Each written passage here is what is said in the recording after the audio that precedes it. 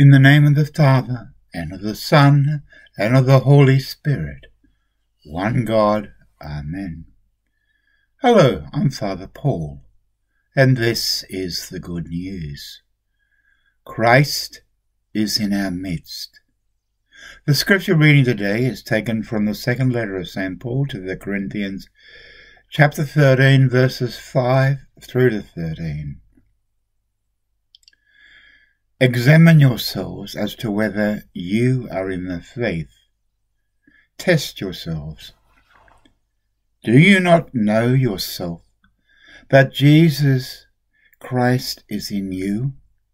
Unless indeed you are disqualified. But I trust that you will know that we are not disqualified.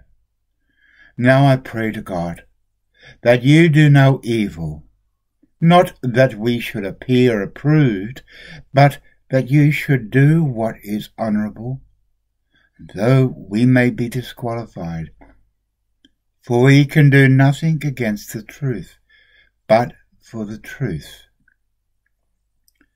For we are glad when we are weak and you are strong. And this also we pray, that you may be made complete Therefore I write these things, being absent, lest being present I should use sharpness, according to the authority which the Lord has given me for edification and not for destruction. Finally, brethren, farewell. Become complete. Be of all good comfort. Be of one mind. Live in peace and the God of love and peace will be with you. Greet one another with a holy kiss, and all the saints greet you. In this letter from St. Paul to the Corinthians, there are some points I'd like to draw to attention for you to meditate upon, to contemplate. Because, yes, he was writing to the Corinthians. But these letters he wrote were not only for the Corinthians, but for you and for me today in the 21st century, when the world is in turmoil due to many things, including the pandemic of the COVID 19, the elections in the United States has brought turmoil to that part of the world too. So, as St. Paul says, examine yourselves as to whether you are in the faith.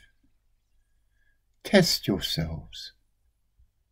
Do you not know yourselves that Jesus Christ is in you? Jesus Christ is in you. To all those who believe, He is in you, unless you are disqualified. But I trust that you will know that we are not disqualified.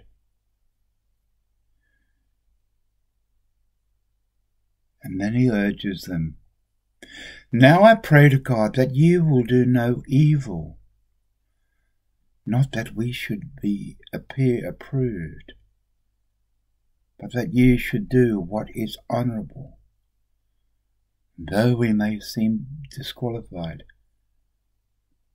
For we can, can do nothing against the truth, but for the truth. He is urging us all to be honourable, to do what is honourable, to live the life of a Christian an honourable life. blessing everybody by what you do. We may be weak, but yet we are strong. For we have Christ within us, who makes us strong. We have the Holy Spirit within us, those who have accepted Christ and have been baptized. The Holy Spirit is living within us. Make the most of that. How often have you forgotten that He is within you? Yes, you who are Christian, who believe in the Son of God, have been baptized. You who have faith, the Holy Spirit is living within you.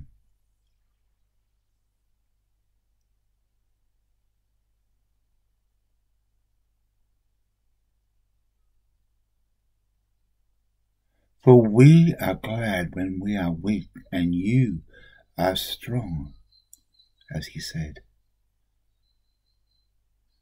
And he says, We also pray that you may be made complete, complete in all we are and do as Christians.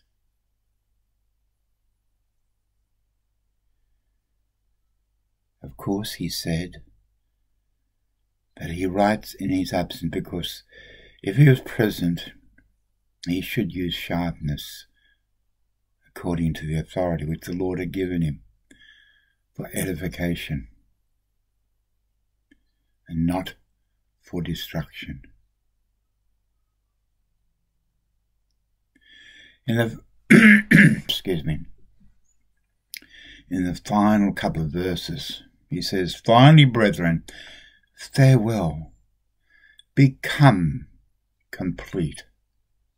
Become complete. Be of good comfort to those around us. Be of one mind. Be like minded. And this is why I urge you to go to church to be with other people who are like minded. Live in peace. Live in peace is important for us. If we live in peace, we are at peace. And the God of love and peace will be with you.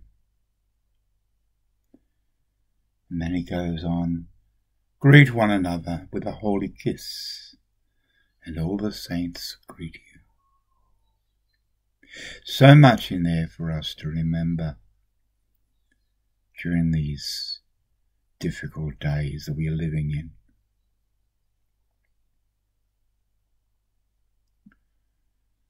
But we must stand up and show our faith to the world around us.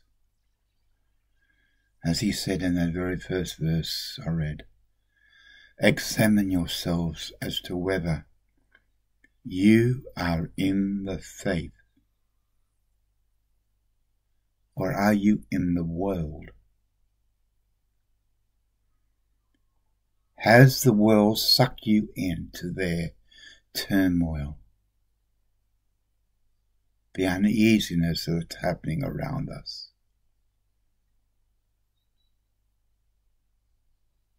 Test yourselves, he says.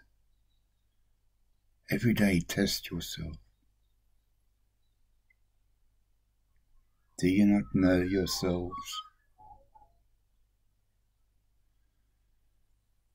And then comes the punchline Jesus Christ is in you. So remember, so important that we stand up for the faith.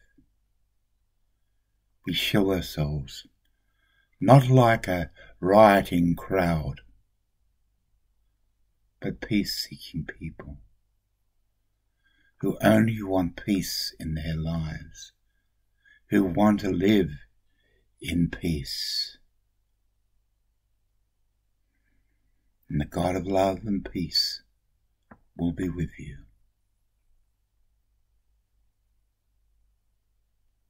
Glory to God for all things. And may the blessing of Almighty God, the Father, the Son, and of the Holy Spirit be upon you and remain with you always. Amen. Amen. Amen.